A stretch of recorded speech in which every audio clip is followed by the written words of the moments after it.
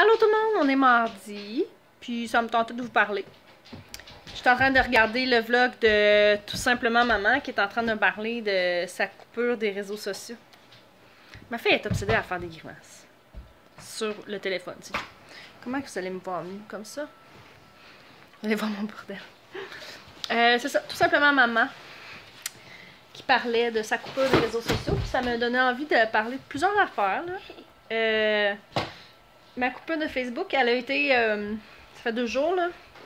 Je suis retournée un petit peu parce que je cherche euh, certaines choses là, sur Atusatwa, puis euh, vraiment des choses. J'aimerais ça que tu le laisses là, s'il te plaît. C'est votre souper.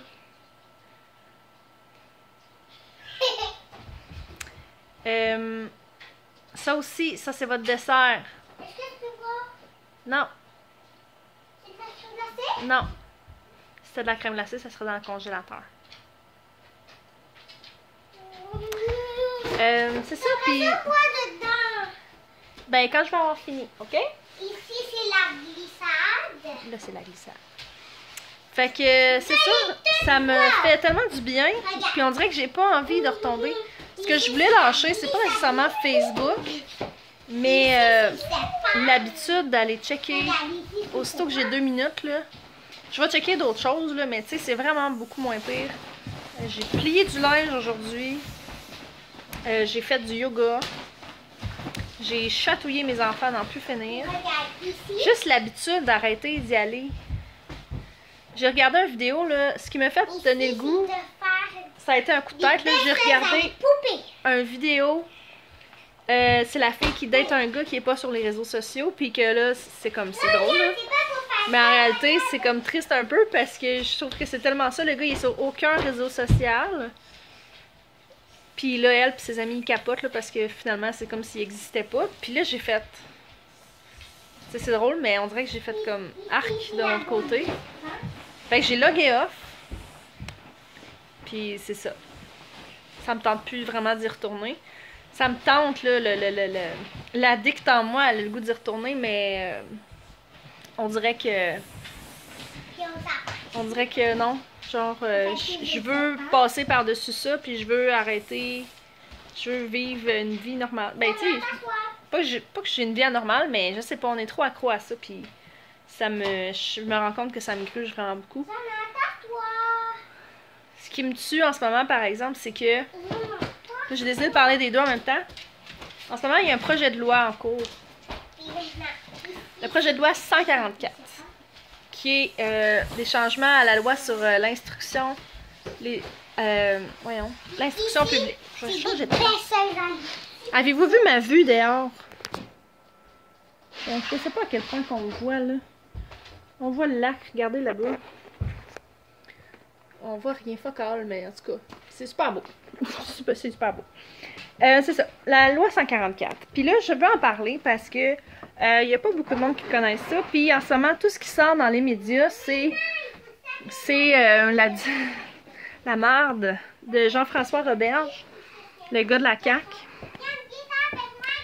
Bref, en gros, en ce moment, le ministre est en train d'essayer de changer la loi. Il est en train de changer la loi. Euh, parce que comment que ça fonctionne présentement? Les familles ont le choix ou non de euh, s'inscrire auprès de la commission scolaire quand ils font l'instruction à domicile. Ma fille, elle parle fort. Seigneur. On a le choix ou non de s'inscrire auprès de la commission scolaire. Puis là, il y a la loi 99, je pense, de la DPJ qui vient de passer que là, ne pas être inscrit à une commission scolaire, ça peut faire en sorte que euh, on a une plainte à DPJ, puis ça peut être considéré comme étant euh, pas de la maltraitance, mais euh, de la négligence auprès de nos enfants. Puis là, tu dis ça à n'importe qui qui connaît pas la qui connaît pas le sujet, puis ça fait bien du sens.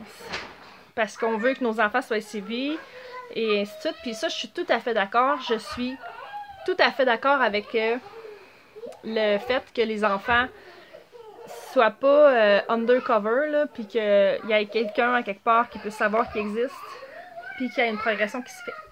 La problématique se trouve ici. présentement, les commissions scolaires, il y a 72 commissions scolaires au Québec. Puis il y a 72 manières de faire. Même que il y en a probablement plus parce que ça va tomber, ça va tomber, ça va dépendre de sur qui tu tombes dans la commission scolaire. Il y a des commissions scolaires qui gèrent eux-mêmes le dossier. Il y en a qui, qui délèguent ça à la direction d'école. Ça, il y a des directions d'école qui délèguent ça à des enseignants.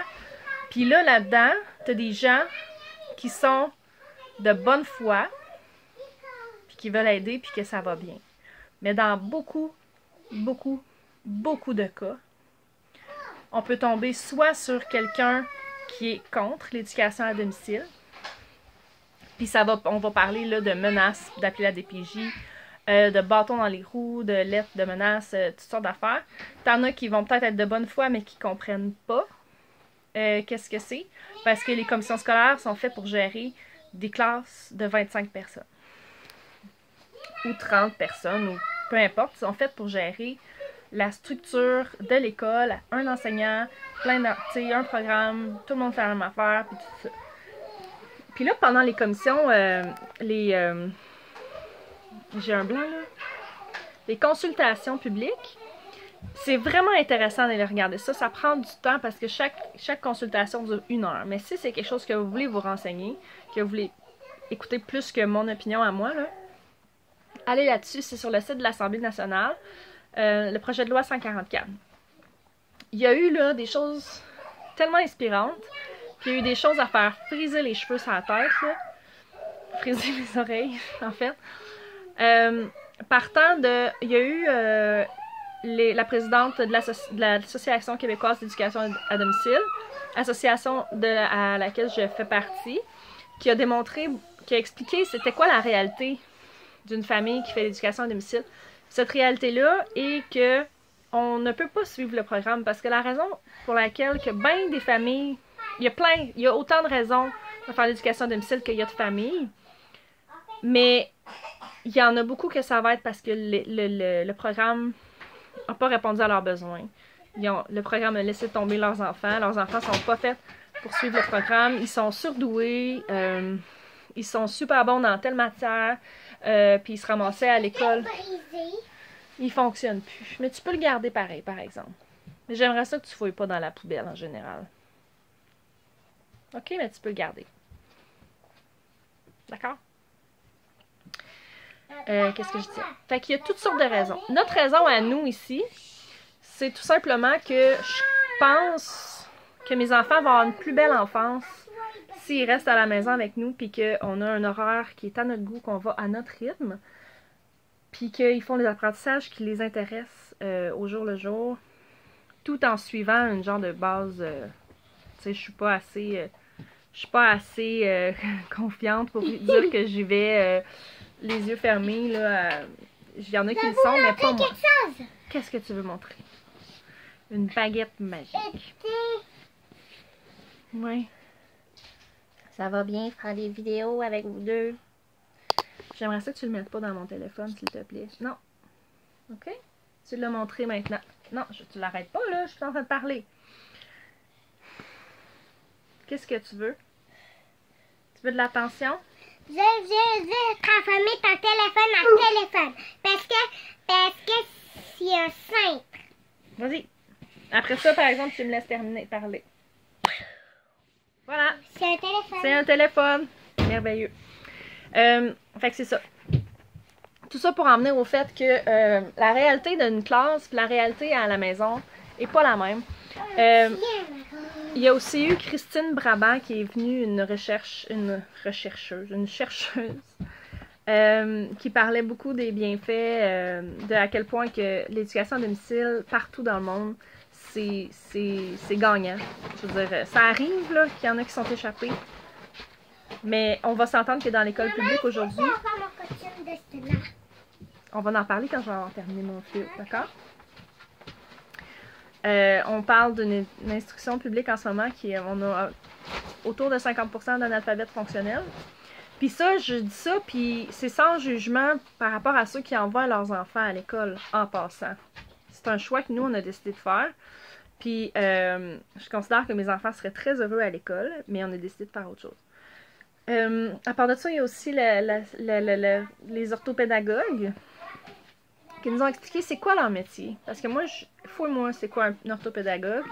Mais là, ils ont bien expliqué qu'ils étaient les personnes vraiment euh, attitrées, qui sont formées pour comprendre les différentes pédagogies, pour aider les parents à, aider leurs enfants à, progresser. Parce qu'il n'y a pas un parent, je pense, en ce moment, qui, qui, qui fait l'éducation à domicile, qui aimerait pas ça avoir un suivi. Parce qu'en ce moment, c'est pas le cas. En ce moment, quand tu es inscrit à la commission scolaire, tout ce que tu as, c'est une chance d'avoir la DPJ sur ton cul.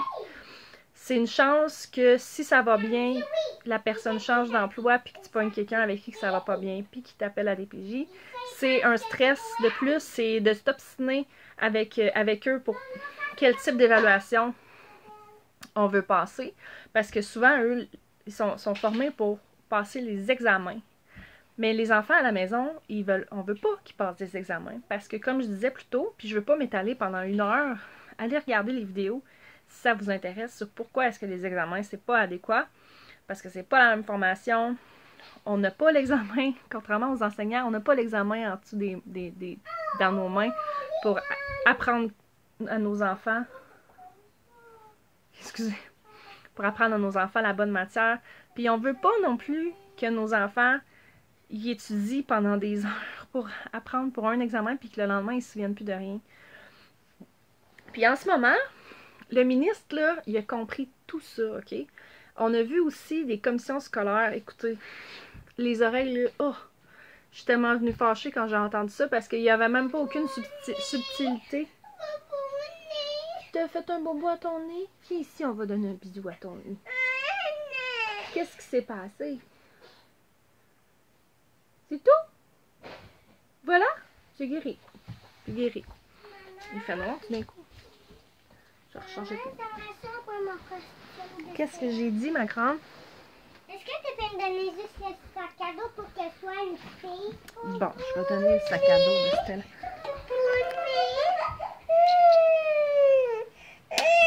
Tu veux ton costume de Ruben, toi aussi? Ouais? Bon, on va sortir les costumes. Fait que. Ça sera pas très long, là. Moi, je veux tout le costume de Tiens! Euh. Ce sera pas long.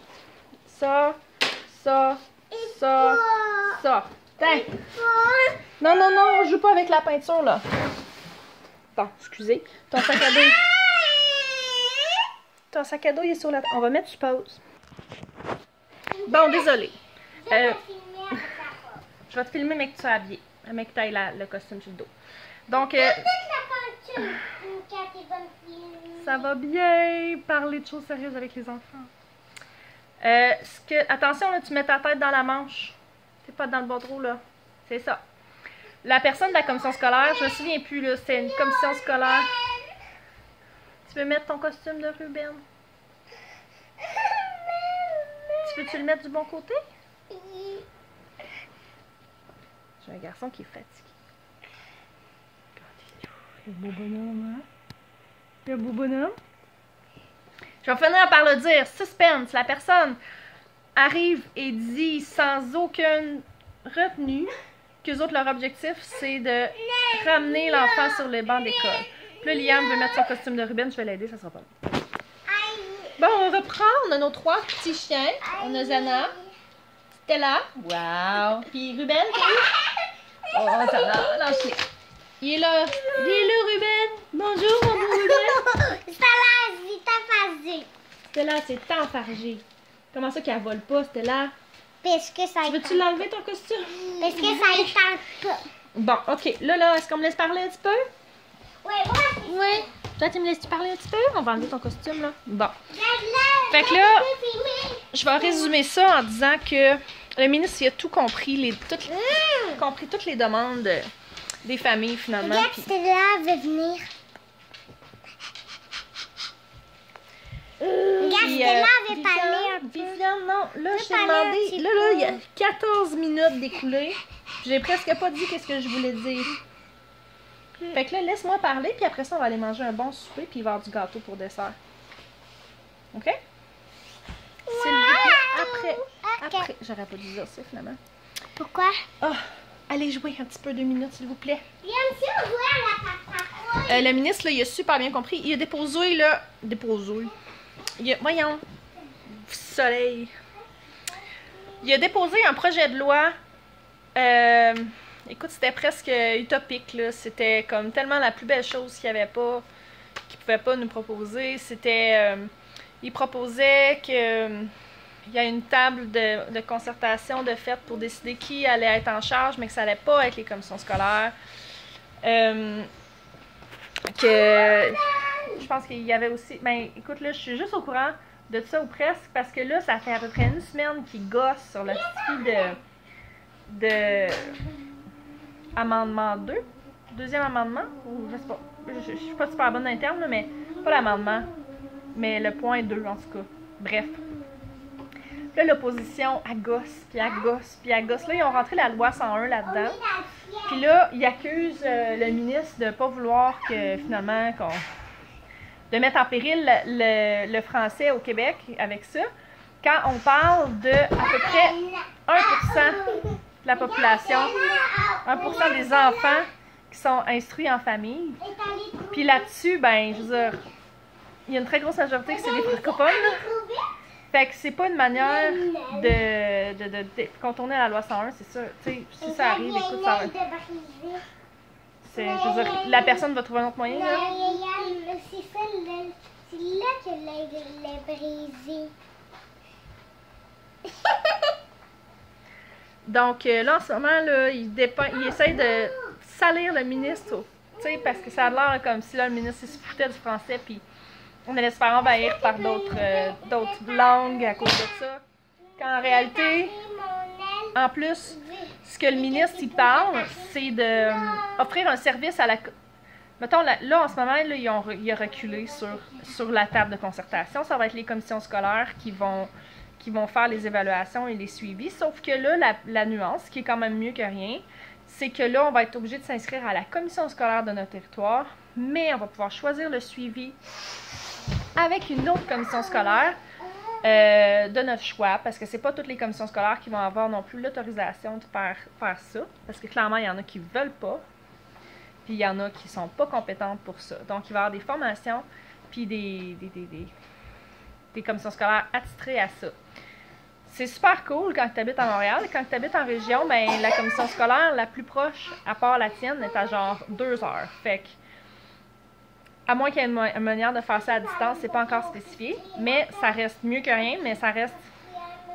On a enlevé les orthopédagogues de tout